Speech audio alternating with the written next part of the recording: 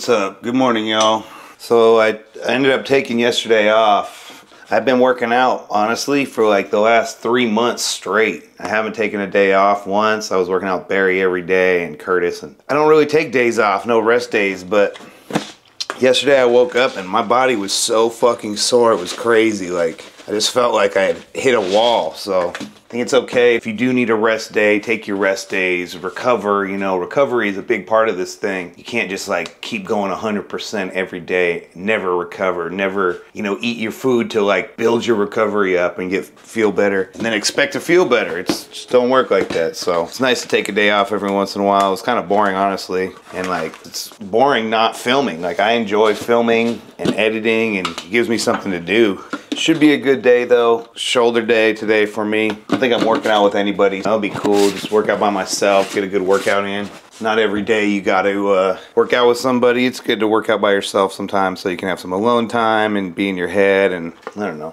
See how hard you can push yourself without somebody else having to like be yelling at you and shit. So should be good. Making up my cookie right now. Trying to stay on my protein goals of I weigh uh, 180 pounds so usually shoot for around 200 grams of protein a day. I'm trying to get big this next year. I want everything. I want to get fucking big as fuck. I want to gain a bunch of muscle. I want to get a little bit lean leaner again because right now I'm a little bit chunky, but that's okay too. Can't be lean year round either, you know, that's not healthy, you know, you're gonna go crazy trying to stay on a diet fucking all year round. So it's good to give yourself a break, bulk up, eat some food, get some size in, and then cut back down. Cut down and get skinny again and show off all the muscles because if you just diet right, say you're just your skinny little dude, you know, and you don't got nothing un underneath you, and you just start dieting, what's gonna happen? You're gonna diet away to nothing nothing. You can't diet bigger. That don't work. So you have to almost get fat on purpose so that you can diet down and show off all the muscles and shit that you've been building up. When you get a little bit bigger, it allows you to be stronger and you can push a little bit more weight so you're actually building muscle better, you know? And when you're on a cut, you're like weak, low energy, tired. It's not really good for building muscle on top of the fact that you are in a calorie deficit, so it's harder to be in a surplus anyway, so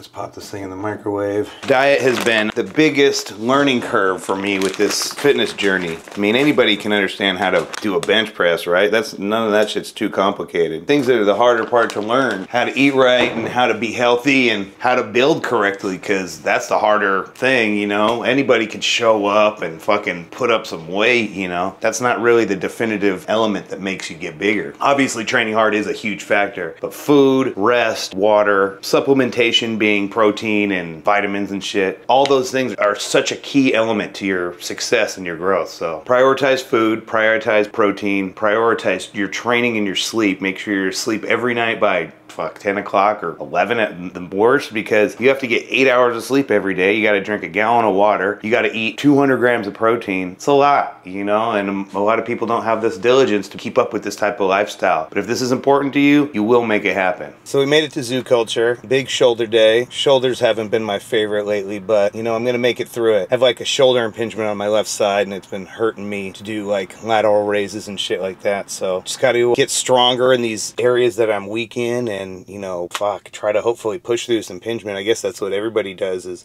instead of getting their shoulder fixed they just try to push through. But i don't know what else to do. It's been like this for like over a year. So tried my best and go slow make sure i don't really hurt myself. So maybe only end up doing four or five exercises at most because shoulders get washed out pretty quick and do some rear delts got to work on my rear delts i'm like super crooked it's so annoying i feel like my form is good and then i look at like me in the videos sometimes and i'm fucking super awkward it just is weird. That's why it's good to videotape yourself so you can see your form and if you are doing things correct. Sometimes you like look in the mirror and go, okay, I think I'm doing it right. You don't even realize how fucking weird you look or how off you are. Your shoulders are forward or whatever, you know? So it's good to videotape yourself and review yourself and look at yourself working out and make sure that you're doing everything correct so that you're getting the most out of each workout. You know, it sucks to like do months and months of workout and then not even get any results from it because you're doing it wrong because you're fucking have bad form. So yeah, slow down proper form, all that shit. So important. We're gonna go in there and uh, see who's in there. Hopefully Joe. Bat my eyes at Joe a little bit, even though she doesn't care about me none. Should be working out on Thursday, so that's fun. So take what I can get. All right, let's get it. Oh man, feeling fucking tight. Haven't really talked about it, but I haven't been to Starbucks in a week. So that's good. Cutting that habit out of my life. Not good to spending money on garbage, and it's not good to eat that shit. I don't need that stuff. Honestly, my little shoulder warm up here. My coach Mayron showed me this last year. I do it to warm up my shoulders every shoulder day. Let's see if I see Fajita running around all crazy. The Sound and Fury lineup just came out. Me and Curtis seen it. Pretty stoked. Festival that I went to last summer. It was so much fun. Curtis fucking fajita. Shoulders are fucking weak, dude. Definitely not my highlight. Something I need to work on for sure. Ouch. So uneven, it's fucking stupid. Yeah, this is one of the exercises I need to get stronger at.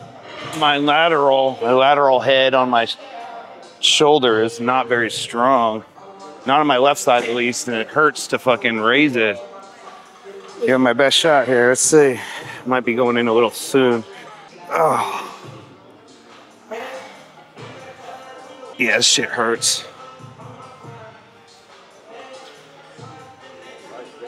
Oh, fuck.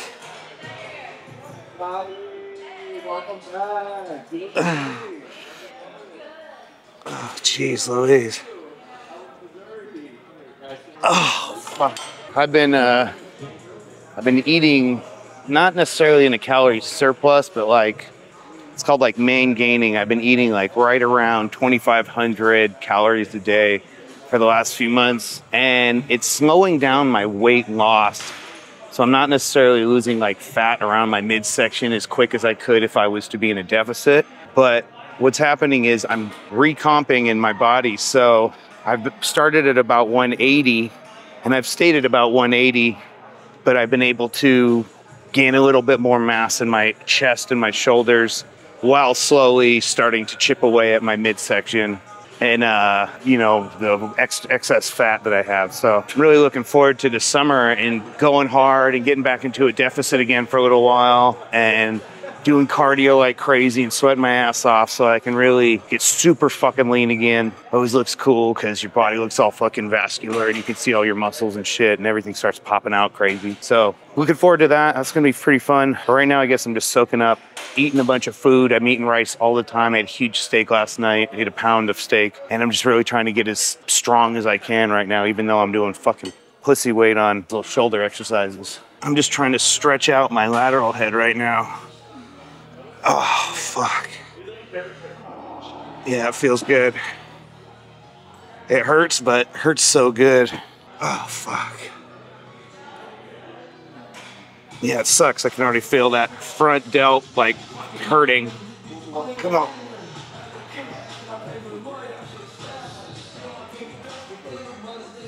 Ah. Oh, fuck. I'm sitting here holding up the line. Gotta hurry up. It's actually quite a bit of people here today. Not that many, but let's say feels like maybe 30, which is a lot for this gym. It's nice because there's usually never that many people here. Oh, fuck. This hurt. Oh, do a little Viking press here. Always feels good. Fucking dying, man. Easy money. Shoulder feeling tight as a bitch. All right, let's see what we can do here.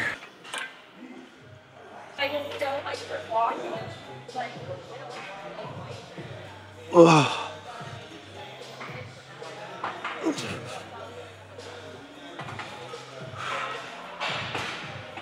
Oh, fuck, come on. Ugh. Ouch, yeah, my fucking front delt's already on fire. It just sucks, dude. I don't know what to do, man. I had my, my physical therapist, Dre, worked it out last week and it was so painful, but that doesn't even seem to help it. This feels good right here, but it's weird. All of a sudden, it will just start hurting. Maybe just once it warms up, it feels a little bit better for sure. Later, Rich.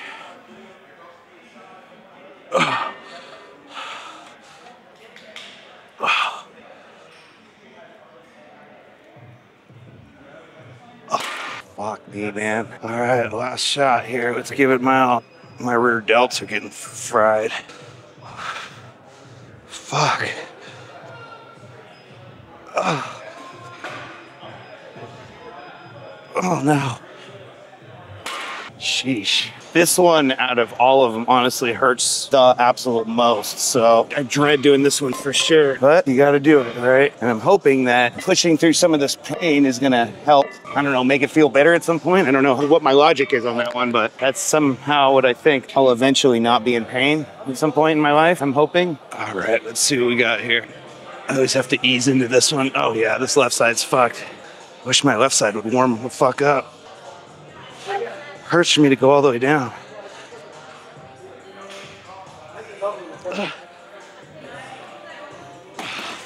Fajita and Joe are making up their reconciling their differences. Poor Joe getting attacked by Fajitas. Fajita loves her so much. Who doesn't love Joe? Ay, ay, ay. Let's get it here. Hopefully this one's a little bit easier. Oh, fuck. Nope. Ah, fuck. Ouch. My left side's fucking hammered. Dude, that's so fucked, man. Maybe I just need to give myself a minute longer in between the sets. All right. Fucking hurting today, dude. I hate shoulders, man. I don't know what's worse, shoulders or legs. Come on.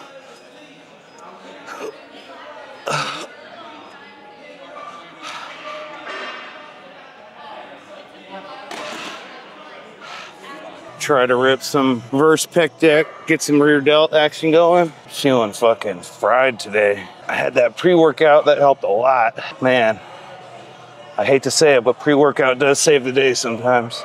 Come on. Oh, fuck. Oh, fuck.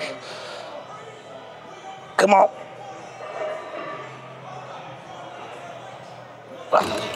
Let's get it. Oh man, it's fucking short day on a fucking shoulder day. I'm fucking already washed. Oh fuck. Oh. Time to go out strong. Come on. Easy. Fuck. Come on.